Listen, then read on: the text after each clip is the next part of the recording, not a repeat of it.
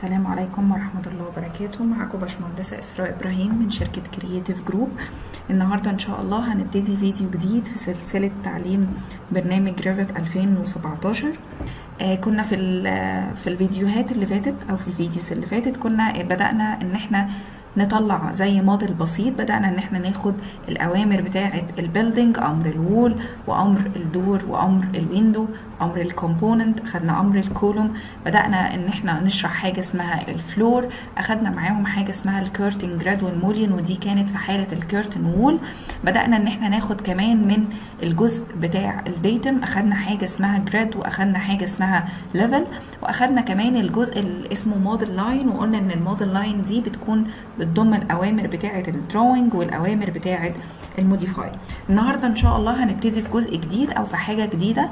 هو أمر اسمه roof طيب هنا هو في ال Revit بيبتدي إن هو يديني حاجتين. بيقول لي في حاجة اسمها roof وفي حاجة اسمها ceiling طب إيه الفرق ما بين ال roof وال ceiling ال roof ده عبارة عن السقف الخارجي للمبنى. إنما ال ceiling ده عبارة عن السقف الداخلي. مش شرط يكون إن الاثنين ليهم نفس الشكل أو مش شرط إن يكون الاثنين ليهم نفس ال properties لأ ممكن يكون ال roof شكل وممكن يكون ال ceiling شكل تاني. معناه إن أنا ممكن يكون ال roof بتاعي بتاع المبنى عبارة عن سقف مايل أو سقف مثلا فيه شكل curve معين أو سقف مثلا مثلث. ممكن يكون حاجة مثلا هيتحط عليها material أراميد أو أي حاجة. وممكن يكون ال ceiling أو المبنى بتاعي من جوه السقف بتاعه straight عادي جدا ما فيهوش أي لعب أو ما فيهوش أي شكل.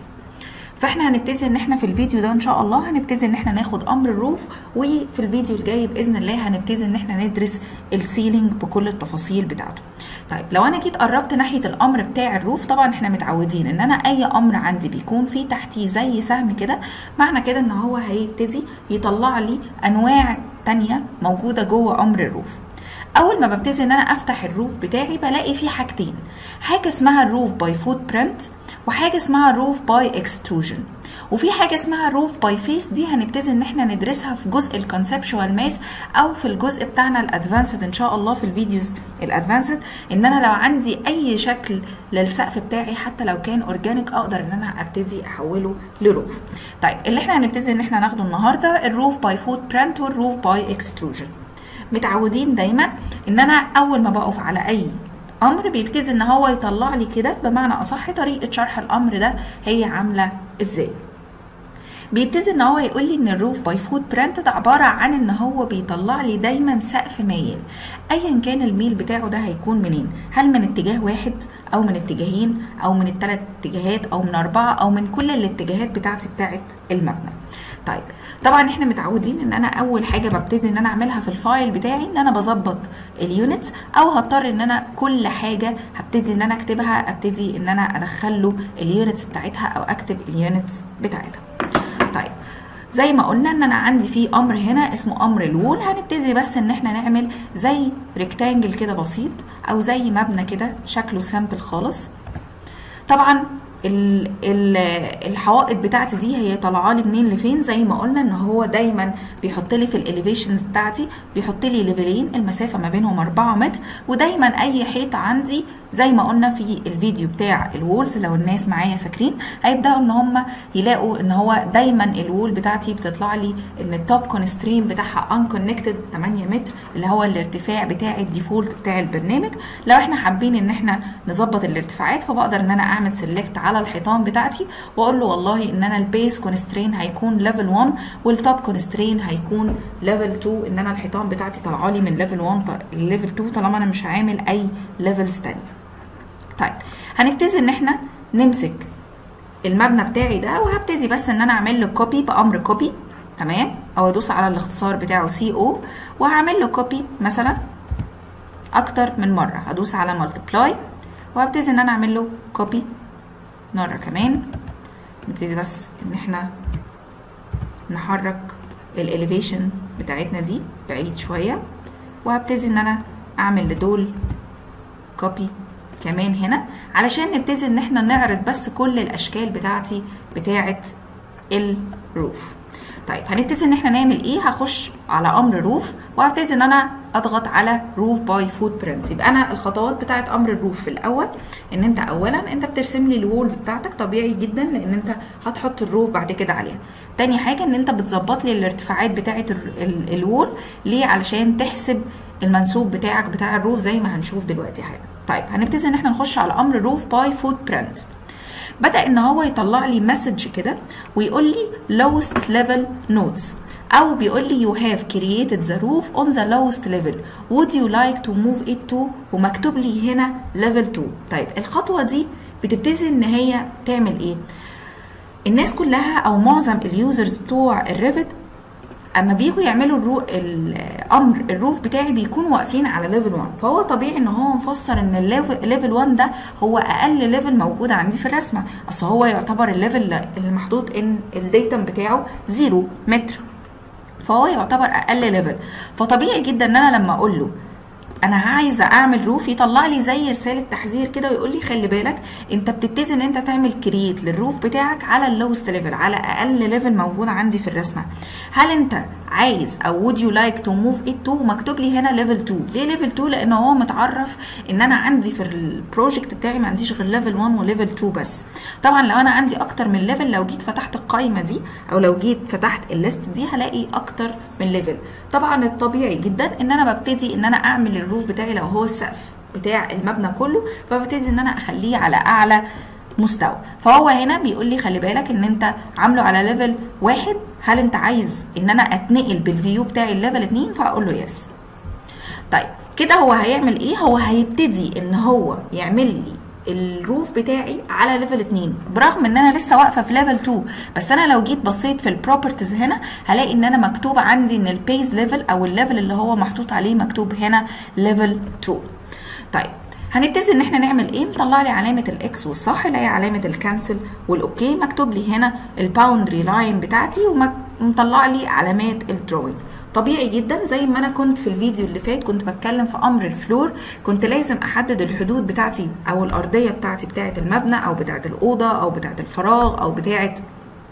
ال layout عامة. نفس الحكاية المفروض إن أنت تحدد لي الحدود بتاعتي بتاعة ال roof. طيب هنبتدي إن إحنا نعمل إيه؟ هبتدي إن أنا أعمل pick line كده للحدود بتاعتي. طيب إحنا في الفيديو اللي فات أو في أمر ال floor قلنا إن أنا بعمل ال floor بتاعتي أو بعمل pick line لل floor بتاعتي على الحيطة الداخلية مش على الحيطة الخارجية. ليه؟ علشان لما ابتدي إن أنا أكرر ال floor بتاعتي دي لو هتطلع هي هي ما يبانش ال slab بتاعتي أو ما يبانش الحدود بتاعتي بتاعت ال floor على ال elevation من بره أو على الواجهه من بره. طيب تفتكروا لما أجي أعمل roof هل هختارها على الحيطة الداخلية أو على الحيطة الخارجية؟ طبعا هبتدي إن أنا أختارها على الحيطة الإيه؟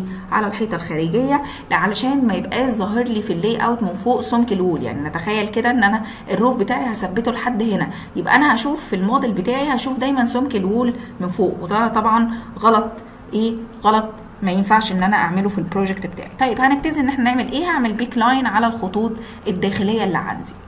already وقت ما بعمل pick line على الحيطة وقت ما بيبتدي جنبها إن هو يطلع لي زي مثلث كده والمثلث ده مكتوب لي جنبيه 30 درجة وده ال default بتاعه. إحنا قلنا إن ال roof by foot by footprint هو دايما بيعمل لي سقف مايل. فال 30 درجة دول يقصد إن هو السقف بتاعي هيكون مايل من ال elevation دي بزاوية كام؟ بزاوية 30 درجة. هو أنا أقدر إن أنا أتحكم في الزاوية دي؟ آه طبعا نقدر إن إحنا نتحكم فيها. إزاي؟ يا إما إن أنت بتدوس على علامة ال 30 درجة دي وتقدر تغيرها تقدر تخليها 45 درجة تقدر تخليها 20 10 زي ما أنت عايز. أو من ال properties بلاقي في حاجة اسمها ال slope. أقدر برضو إن أنا أغير الإيه؟ ال slope بتاعي. طيب ال slope ده هبتدي إن أنا أقول له والله أنا عايز أعمل pick line للخط ده وللخط ده وللخط ده وللخط ده. طيب هو بدأ إن هو يعمل لي إيه؟ لازم ال roof بتاعي أو زي في الفيديو اللي فات لازم ال floor بتاعتي لازم تكون boundary مقفولة. ما ينفعش إن أنا أحدد له ثلاث خطوط وخط كده أسيبه فاضي. لا لازم يكون boundary مقفولة. طيب انت كده هتخليه لي إن السقف بتاعي يكون مايل من الأربع اتجاهات بزاوية 30 درجة. طيب تعالوا كده نبتدي إن إحنا ندوس على علامة صح؟ وابتدي إن أنا أبص لل 3D عندي. طبعا أنا بدأت إن أنا أعمل إيه؟ أنا عملت لكم الغلطة اللي معظم الناس هتبتدي إن هي تعملها اللي هي أنا بحدد على الحيطة اللي إيه؟ بحدد على الحيطة اللي جوه لأن هم بيفتكروا إن أنا بعمل في ال roof زي بالظبط لما بعمل في ال floor. طيب تعالوا كده نعمل على الحيطة الخارجية علشان نشوف الفرق. هبتدي إن أنا أقول له yes طبعا ده بقى الصح اللي عندي إن أنا باخد على الحيطة الخارجية. أنا حبيت إن أنا أعمل لكم الاثنين علشان تشوفوا الفرق. أول ما هبتدي إن أنا أبص هنا آدي الفرق ما بين إن أنا باخد الروف بتاعي على الحيطة الداخلية أو على الحيطة الخارجية. فالطبيعي جدا إن هو يكون على الحيطة الخارجية. طيب طبعا الجزئية دي أنا بلاقي إيه؟ بلاقي إن السقف بتاعي مايل من الأربع اتجاهات عندي وبزاوية كام؟ بزاوية 30 درجة. طبعا لو أنا جيت عملت select على السقف ده أقدر إن أنا أتحكم في الميل بتاعه مرة تانية. يعني أقدر إن أنا أغير ال slope بتاعه. بدل ما هو 30 درجة أقدر أخليه 10 أقدر أخليه 5 أقدر أخليه 45 أقدر كمان إن أنا أمسك ال stretch points بتاعتي دي وأبتدي إن أنا أتحكم إيه؟ أتحكم فيها كده manual لو أنا عايزة أبتدي إن أنا أتحكم فيها إيه؟ ك manual. تمام؟ طيب ده بالنسبة إن أنا خليت إن الأربع جهات بتوعي يكونوا مايلين. تعالوا كده على level 1 أو تعالوا نجرب المرة دي إن أنا أعمل ال roof بتاعي من واقف على level 2 طيب هبتدي إن أنا أقول له أمر roof وهبتدي إن أنا أضغط. هل لي الرسالة اللي هي كانت ال notes اللي هي إن أنت عامل على ال level الاقل لأ أنا عامله من على ال level 2 فهو كده ما طلعليش الرسالة بتاعه التنبيه بتاعتي. طيب هنبتدي إن إحنا نعمل إيه؟ نفترض دلوقتي إن أنا هقول له إيه؟ هقول له أنا مش عايزه أميله من الأربع جهات أنا هميله من جهتين وجهتين تانيين. لأ. طبيعي جدا إن أنا الجهتين اللي أنا هميله منهم هما الجهتين المتقابلين لبعض. يعني أنا مثلا هميل من الاتجاهين دول ومش هميل من الاتجاهين دول. طيب هعمل إيه؟ هقول له والله أنا هبتدي إن أنا أميل من الاتجاه ده ومن الاتجاه ده. طيب الاتجاهين التانيين هل أنا ينفع إن أنا أسيبه كده عشان هما مش متميلين فهسيبهم من غير ما أعمل لهم بيك أكيد لأ طبعا ما ينفعش إن أنا أدوس على صح. طيب بلاقي فيه في ال options bar اللي فوق في حاجة اسمها define slopes define slopes دي. طول ما هي معمول عليها علامة mark طول ما أنا متعرف عندي إن أنا أي خط بعمل له pick بيبتدي إن هو يحط لي عليه إيه؟ يبتدي إن هو يحط لي عليه الميل بتاعي. طيب لو شلت علامة ال mark من على ال define slope وبدأت إن أنا قلت له الخط ده هل طلع لي المثلث هنا؟ لا. معنى كده إن الخط بتاعي ده مش هيكون إيه؟ مش هيكون مايل. ونفس الحكاية هنا. يبقى أنا كده عملت إيه؟ أنا عملت boundary مقفولة بس ال boundary مقفولة دي هتبقى مايلة من الاتجاه ده ومن الاتجاه ده. أول ما هبتدي إن أنا أدوس على صح وأجي أبص كده في ال 3D هو إيه اللي عمله؟ هو ابتدى إن هو يميل من الاتجاه ده ويميل من الاتجاه ده لكن ما عنديش هنا ولا سقف مايل ولا هنا سقف مايل. طيب هتبان لي مشكلة تانية؟ إن أنا طبيعي طبعا ال connection بتاعتي دي غلط ما بين الحيطة وما بين السقف. فهبتدي إن أنا أعمل إيه؟ بيكون في أمر عندنا اسمه أمر attach يعني إيه؟ يعني أنا عايز دلوقتي إن أنا أربط الحيطة بتاعتي دي سواء الحيطة دي أو الحيطة اللي ورا أنا عايز أربط الحيطة بتاعتي دي بالسقف. فأنا هبتدي إن أنا أعمل إيه؟ هعمل select على الحيطة. أول ما بعمل select على الحيطة بيطلع لي فوق أمر ال edit profile اللي إحنا كنا واخدينه قبل كده إن أنا بفرغ فيه أو ببتدي إن أنا أعمل mixing ما بينه وما بين ال curtain wall. هبتدي إن أنا أعمل له حاجة اسمها مش edit profile حاجة اسمها attach top or base attach top or base ده بيقول لي زي في الشرح كده بيقول لي attach selected walls to model elements such as roofs and floors. يعني بيبتدي إن هو يوصل لي الحيطة بتاعتي بأي حاجة horizontal. يعني ما ينفعش إن أنا أعمل attach لحاجتين vertical أو لحاجتين horizontal. لازم حاجة vertical مع horizontal. فلو أنا اعتبرت إن أنا الحيطة بتاعتي دي vertical يبقى ال horizontal بالنسبة لها يا إما floor يا إما إيه؟ يا إما roof هو ده اللي هو بيقوله لي إن أنا ببتدي أعمل attach ليه roof أو ل floor طيب هبتدي إن أنا أدوس على attach كل اللي بعمله إن أنا بس بختار الإيه؟ ال roof بتاعه. بيقول لي أهو في الرسالة الصغيرة بيقول لي select the roof أول ما بعمل select the roof إيه اللي بيحصل؟ بيبتدي إن هو يطلع لي السقف بتاعي عادي جدا. يبقى أنا تاني لو حبيت إن أنا أوصل الحيطة بتاعتي دي هعمل إيه؟ طبعا ما ينفعش إن أنا أمسكها كده وأشدها لأن أنا لو شدتها كده هي مش هتكون متقاطعة أو مش واخدة شكل المبنى بتاعي فهعمل select على ال wall وهقول له attach top or base وأبتدي إن أنا أضغط على الإيه؟ أضغط على ال roof بتاعي. يبقى أنا كده عملت الإيه؟ عملت السقف بتاعي. بدل ما هو مايل من أربع اتجاهات هو مايل من اتجاهين بس. طيب تعالوا كده نرجع لل level 1 وأقول له مثلا إن أنا في الحالة دي هبتدي إن أنا أعمل roof roof by footprint بس المرة دي أنا هبتدي إن أنا أميل من اتجاه واحد. يعني هخلي إن ال slope بتاعي طول ما معمول علامة mark أو check على ال define slope طول ما هو بيبتدي إن هو يميل للسقف بتاعي. هقول له أعمل لي مثلا check هنا وهشيل علامة ال mark من على ال define slope وهبتدي إن أنا أقول له أنا عايز السقف ده والسقف ده والسقف ده. وهبتدي إن أنا برضو أدوس له على إيه؟ أدوس له على صح. طب المرة دي السقف هيطلع عامل إزاي؟ هيطلع طبعا إن هو مايل من اتجاه إيه؟ مايل من اتجاه واحد. طب عايز أعدل السقف بتاعي أقدر بقى إن أنا أعمل select على الحيطة دي control طبعا مش شرط إن أنا أمسك حيطة حيطة لأ ممكن أدوس ب control كده أعمل select لكل الحوائط وأقول له attach top or base وتعمل بس select على الإيه؟ select على ال roof بتاعي. يبقى أنا كده خليته مايل من اتجاه إيه؟ من اتجاه واحد. طيب ممكن حد يقول لي طب في شكل تاني؟ آه أنا ببدل شوية بعملهم على level 1 وشوية تانيين بعملهم على level 2 هبتدي بس إن أنا أعمل copy كده للشكل بتاعي. هنا. وهعمل بس select ده وهعمل له move أنا حاطة بس كل ال roof جنب بعضها. عشان نبتدي إن إحنا نشوف الفرق والاختلاف ما بين أشكال ال roof المختلفة سواء كانت ال roof by footprint أو ال roof by extrusion هاجي من هنا على الجزئية دي وابتدي إن أنا هعمل شكل تاني من أشكال ال roof. طيب هنمسك كده. هبتدي إن أنا أقف على level 2 وابتدي إن أنا أختار أمر. ال roof roof by footprint وهبتدي إن أنا أقول له إيه؟ أقول له طب ماشي أنا هعمل لك roof بال pick line define slope هل ينفع إن أنا أعمله لك بعيد عن المبنى شوية؟ يعني إيه؟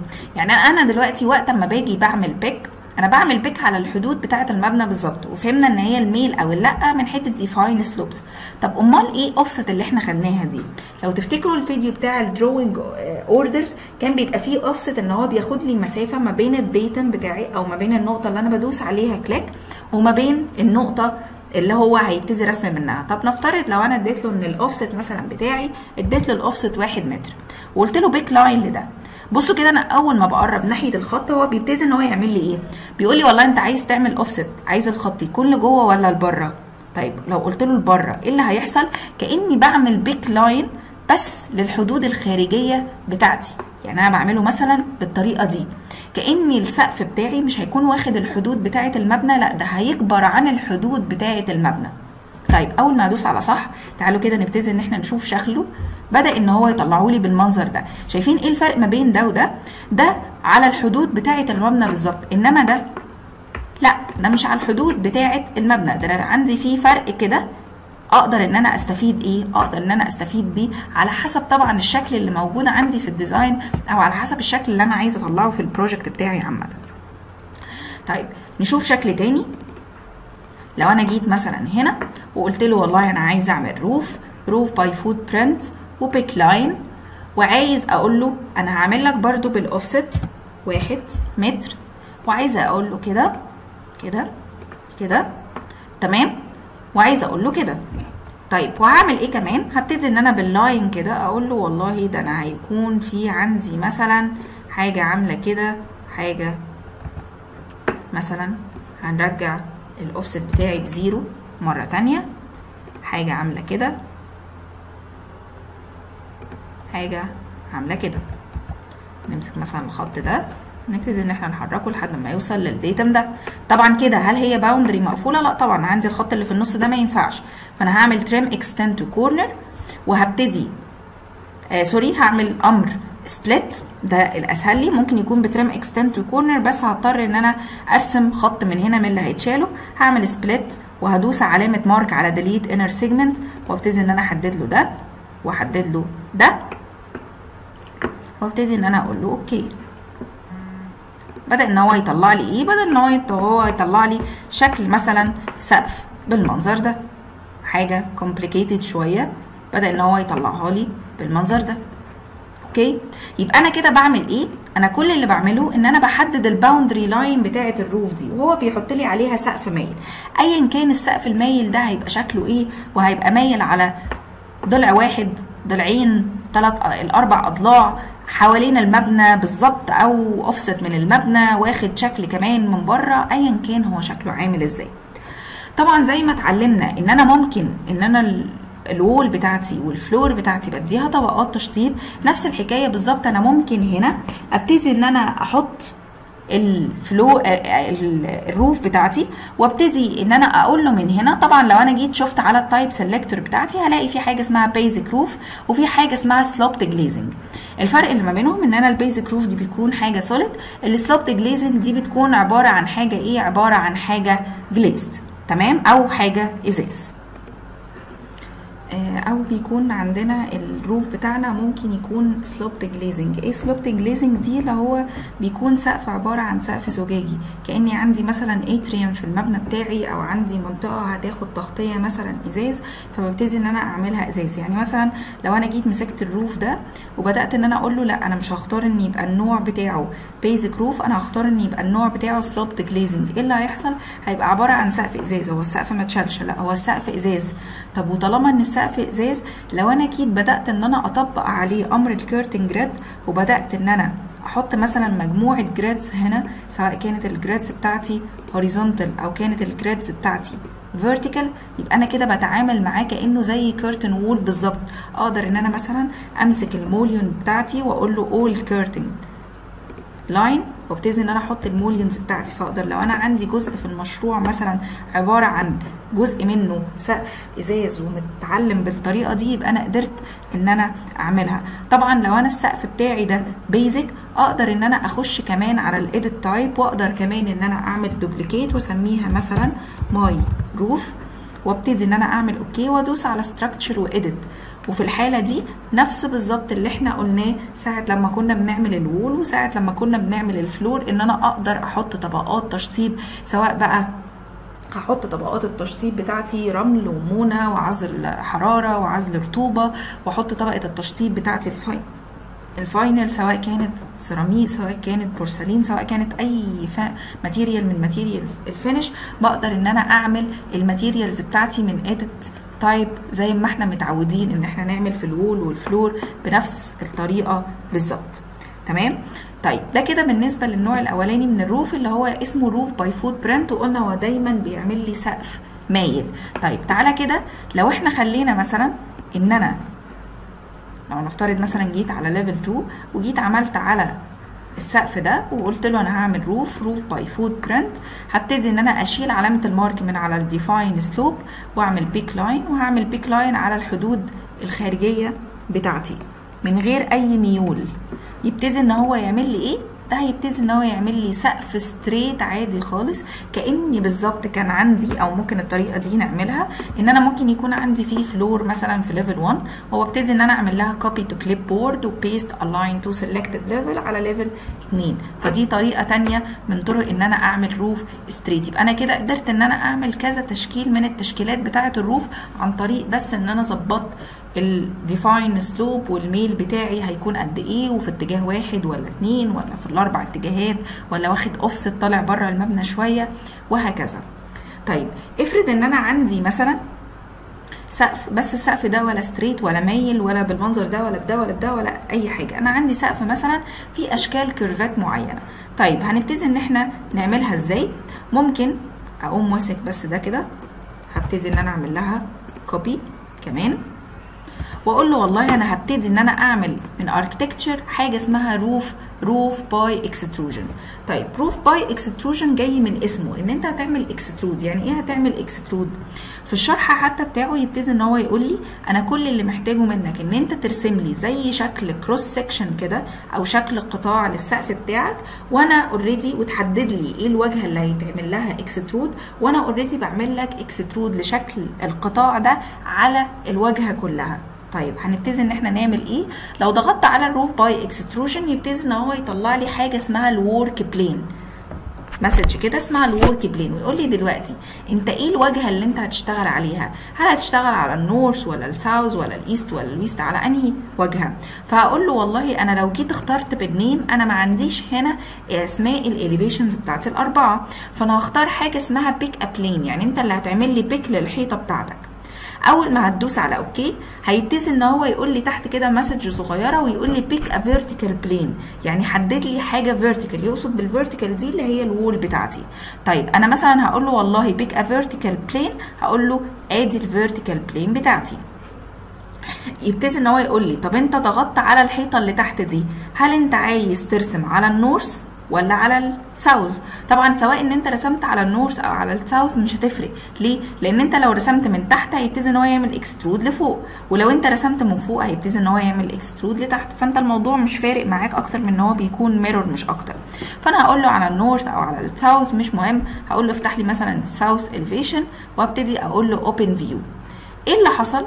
بدأ إن هو ينقلني على طول لل south elevation يقول لي أنت على فكرة انت كنت عامل ال roof من ال plan بس انت دلوقتي عشان ترسم لي شكل ال roof بتاعك لازم تقف على ال south elevation يقول لي دلوقتي طلع لي message تانية ويقول لي roof reference level and offset يعني انت هترسم من انهي level هترسم ال roof بتاعك ده في انهي level ولو انت حابب يكون في اوفست ما بين ال level بتاعك وما بين ال roof وده في الغالب ما بنستخدموش ليه؟ لأن أنا مفيش حاجة هتفيدني إن أنا يبقى ال roof بتاعي طاير عن ال level بمسافة معينة ما أنا كده كده هعمل attach لل wall طيب هبتدي إن أنا أدوس على okay. طبعا هو أنهي جزئية؟ هو الجزئية ده. طيب هنبتدي إن إحنا نعمل إيه؟ هتبتدي إن أنت ترسم لي قطاع. هو بيقول لي هنا مش هترسم لي boundary مش شكل مقفول. ده بيقول لي create extrusion roof profile يعني ارسم لي شكل ال profile بتاع ال roof اللي أنا هعمل لك ليه extrude طيب تعالوا كده نمسك ال arc وأقول له والله أنا هعمل مثلا arc كده و arc تاني مثلا كده. هل ده عبارة عن boundary لا ده مش عبارة عن boundary خالص ده عبارة عن profile ال profile ده لو انت جيت دوست على صح ده طبعا single line لو انت جيت دوست على صح already هتبتدي إن انت تلاقي إن هو اتحول لإيه؟ ل double line طيب لو جيت بدأت إن انت تبص في ال 3D عندك هتلاقي already إن شكل السقف بتاعك اتعمل. بس إيه اللي حصل؟ علاقة السقف بالحوايط علاقة مش مظبوطة. يعني في حاجات مش واصلة وفي حاجات داخلة لجوه. طيب هتعمل إيه؟ هتبتدي إن أنت تعمل select كده لكل الحوايط بتاعتك بتاعت المبنى. هتلاقي أمر attach بدأ إن هو يطلع لي. فهتعمل attach بالإيه؟ attach بالسقف بتاعك. فيبتدي إن هو يتظبط لي الشكل بتاعي. حتى لو بدأت إن أنت مسكت ال roof بتاعي ده وبدأت إن أنت مثلا تشده كده كأنه زي cantilever شوية. تشده من على اليمين أو على الشمال تقدر إن أنت تعمل ده بحيث إن هي تكون بارزة لبرة شوية. يبقى تاني لو أنا عايزه أعمل roof by extrusion هاجي من هنا نعمل آخر حالة هختار roof roof by extrusion هيقول لي pick a plane هقول له okay هبتدي إن أنا أحدد له أي plane عندنا هقول له ال plane دي. بالتالي هو قال إن ده ال east فبيقول لي من ناحية ال east ولا ال west هقول له لا ال east open view هقول له ادي السقف بتاعي هقول له okay؟ وابتدي إن أنا أرسم له السقف. طب أنت هترسم له السقف إزاي؟ نفترض مثلا أنا هرسم له إن يبقى السقف بتاعي مايل مثلا بالمنظر ده. طيب جيت دوست على صح؟ إيه اللي ابتدى إن هو يحصل؟ بدأ إن هو يعمل لي extrude على الإيه؟ ال elevation كلها. طيب إيه اللي حصل؟ شايفين هو عمل extrude من هنا؟ لحد آخر مبنى هو عمله. وده اللي دايما ال Revit بيعمله إن هو ما بيقراش الحدود بتاعة المبنى دي لأن هو مش قاري. أنا بقول له extrude على ال south elevation أو على ال east elevation طيب نعمل إيه؟ كل اللي تعمله إن أنت ممكن تمسك الحيطة دي وتبتدي إن أنت بس تحركها لحد الحدود بتاعة المبنى. ده رقم واحد. رقم اتنين تبتدي إن أنت طبعا تظبط. ده طريقة تانية لعمل الحيطة المايلة أو sorry السقف المايل. غير ال roof by footprint أمسك الحيطان بتاعتي دي كلها أقف عليها وأبتدي إن أنا أدوس tab كده من ال keyboard فيعمل لي select عليهم كلهم أقول له attach بالحيطة بتاعتي فبدأ إن هو يعمل لها attach طيب نيجي نبص هنا الحيطة بتاعتي هل اتعمل لها attach لا. ليه؟ لأن أنا الحدود بتاعت ال wall بتاعتي جوه. لأن أنا طول ما الحدود بتاعتي بتاعت ال wall جوه هيبتدي إن هو يديني error طب هعمل إيه؟ كل اللي هعمله إن أنا همسك بس الحيطة دي وابتدي إن أنا أخرجها لبره عندي لحد ما تبتدي إن هي تتظبط. زي نفس الحكاية بالظبط. أقدر إن أنا أمسك ال roof بتاعي ده أختاره إذا كان roof من الأشكال الجاهزة أو إذا كان sloped glazing ايا كان أقدر أتحكم عليه من ال curtain grid وال mullion وهكذا. يبقى أنا كده قدرت إن أنا أعمل أشكال كتير من السقف.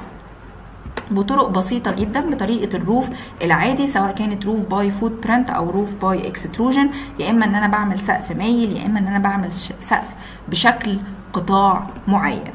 طيب آخر نقطة في ال roof هنبتدي إن إحنا ناخدها في الفيديو بتاع النهاردة. لو أنت حابب إن أنت تفتح فتحات مثلا كأنها زي تهوية أو كأنها زي cantilever طبعا أنا لو عندي مثلا سقف مايل زي ده وده أصعب حاجة إحنا ممكن نشوفها. لو أنا عندي سقف مثلا فيه curve زي ده وحبيت إن أنا أفتح فيه فتحات هعمل إيه؟ هبتدي إن أنا أعمل select على الفتحة دي. هلاقي من هنا حاجة اسمها opening vertical يعني أنا أنت هفتح لك حاجة في ال roof ده بس هتكون vertical يعني تتفتح لي فتحة رأسية. طيب هقول له opening vertical طيب أنت عشان تيجي تتحكم في السقف ده تقدر إن أنت تتحكم منه منين؟ لو أنت باصص على ال site عشان ده يعتبر ال layout بتاعك. طيب بدا ان هو يعمل لي زي كده زي مستطيل dash لو أنا جيت رسمت مثلا فيه عندي مثلا مستطيل بالمنظر ده وجيت عملت للمستطيل ده كده copy وقلت له والله ده أنا هعمل copy هنا و copy تاني هنا. أنا رسمت إيه؟ أنا رسمت ثلاث فتحات. تعالوا كده نبص في ال 3D وأجي بعد كده أدوس على صح. إيه اللي حصل؟ بدأ إن الثلاث فتحات اللي أنا عملتهم اللي أنا قلت له opening vertical بدأوا إن هم يتفتحوا عندي. بس لما جم اتفتحوا اتفتحوا خدوا شكل كمان الإيه؟ خدوا شكل ال roof بتاعي. ايا كان ال roof ده بقى آه straight عادي أو مايل أو آه مثلا جاي بيه ب curve معين أو مايل من اتجاهين أو مايل من الأربع اتجاهات زي ما أنا عايز. حتة إن أنا أعمل opening vertical ده محطوط على أي roof عندي أو على ال roof by إيه ال roof by extrusion حاجة اسمها opening vertical يبقى إحنا النهارده في الفيديو ده بدأنا إن إحنا نعرف إزاي إن أنا بعمل أشكال لل roof إزاي إن أنا بعمل أشكال للسقف عن طريق الأمرين اللي هما ال roof by footprint وال roof by extrusion. استنونا إن شاء الله في الفيديو الجاي هنبتدي إن إحنا ندرس حاجة اسمها ال ceiling اللي هو السقف. الداخلي وهنعرف إزاي إن أنا أعمل سقف داخلي جوه المبنى بتاعي وإزاي أبتدي إن أنا أحط عليه كمان lighting units أو وحدات إضاءة ونبتدي إن إحنا نشوفها إزاي لأن ده هيكون جزء مهم جدا من إن أنا أطلع إزاي interior shot تابعونا إن شاء الله ولو أي حد قابلته أي استفسارات يقدر إن هو يسألنا على ال page بتاعتنا Creative Group على الفيسبوك. والسلام عليكم ورحمة الله وبركاته.